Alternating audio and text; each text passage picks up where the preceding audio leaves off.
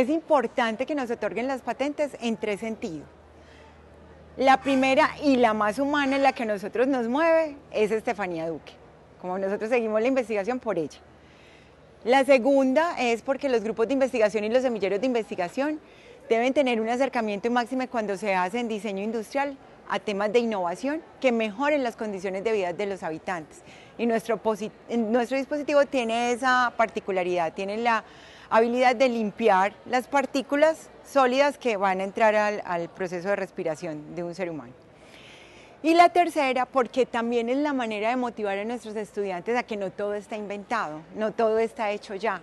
Hay un montón de cosas y que de las ideas que salen del aula y las ideas que ellos conversan por ahí, hay un montón de cosas que pueden llevarse a la realidad con un tema de estudio riguroso y de disciplina y constancia, pueden lograr hacer procesos que impactan directamente a la industria y a la humanidad en sí misma.